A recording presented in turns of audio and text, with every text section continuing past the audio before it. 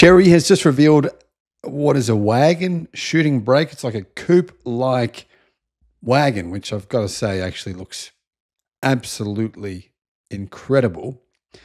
Apparently, this year you can buy this vehicle.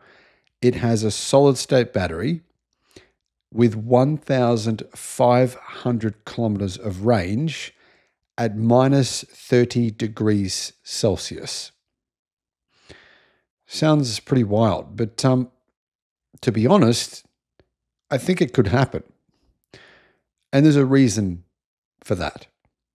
Hello, my friends. Welcome to the channel. I'm Sam Evans. You're watching The Electric Viking. Recently, Chery's Exeed brand announced that it will have, or be the first to equip its vehicles, its electric vehicles, not electric motorbikes, with solid state batteries.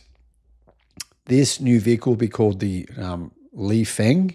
Li Feng, I think that's how you pronounce it. Range will be uh, 1,500 kilometers at minus 30 degrees Celsius. So, what does that mean? Range will be at normal temperatures, say 15 to 20 degrees Celsius. Yeah, I've got no idea, but I'm going to assume it'd be more than that. The battery is coming from Chery's Rhino S solid state battery.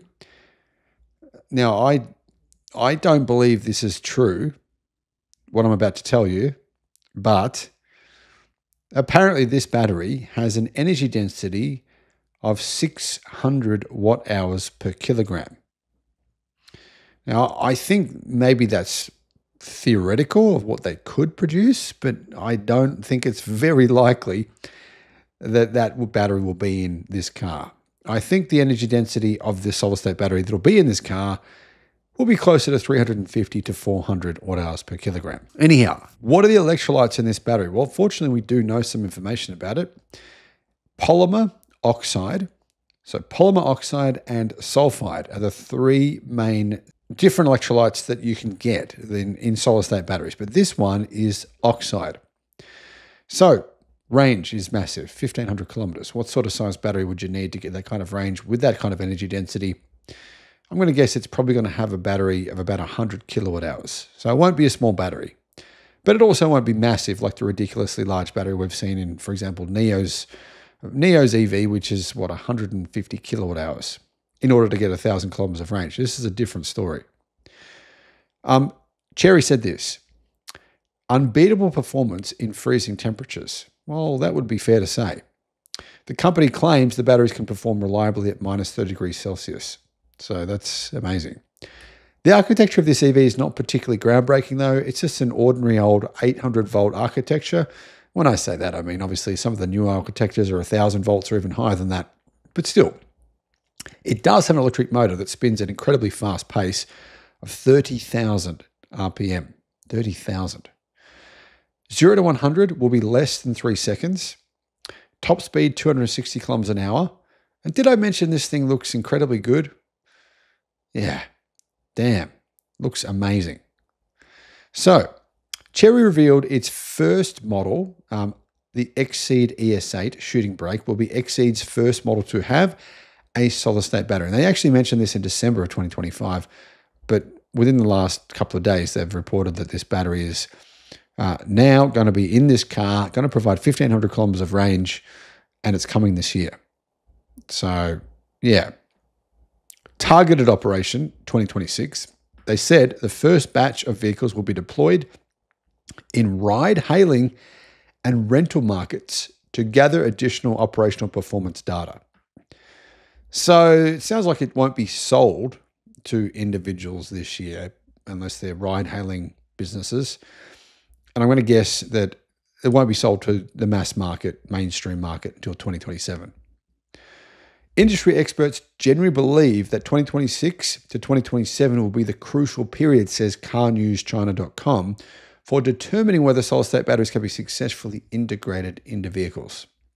If you'd like to book a paid consultation, uh, you can do so, and I'll put a link in the description below. If you want advice on what electric car to buy, solar systems, all that kind of stuff, you can do that. Guys, to me, this is almost my dream car. This thing's phenomenal. I mean, not only does it look amazing, it's got amazing specs. I I think that five years from now, we'll be looking back and saying, hey, remember when we thought that was awesome, but now we're thinking something else is awesome? You know, we'll have moved on from then. So these kinds of vehicles in the high end cars will be probably commonplace in five years from now. And I think probably the most likely battery companies to succeed with solid state batteries won't be Japanese. I actually think they'll be American and Chinese. I don't believe Donut Labs will be one of them, but you never know. I could be wrong on that. By the way, guys, I will have a video on Donut Labs claims. I've actually gone through them and looked at them and analyzed them in detail. And I believe, now I believe firmly that they are fake. Firmly believe that. And I'll make a video on why that is. But Chery, well, that's another story. I believe Chery are being open and transparent. And I think that um, this will happen. Let me know what your thoughts are. Thanks for watching.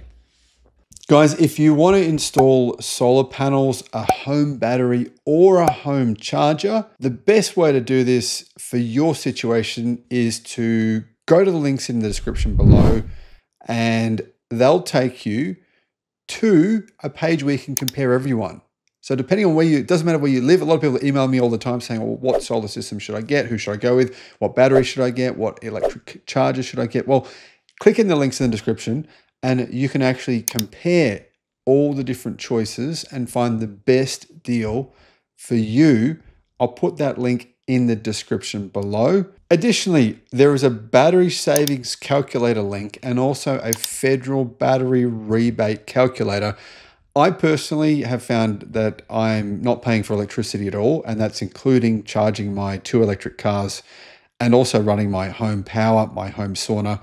Um, nothing not paying anything at all. And I think a lot of people are getting misled. They think that getting a battery is not worth it. Actually, I think it is worth it. So those links are in the description below.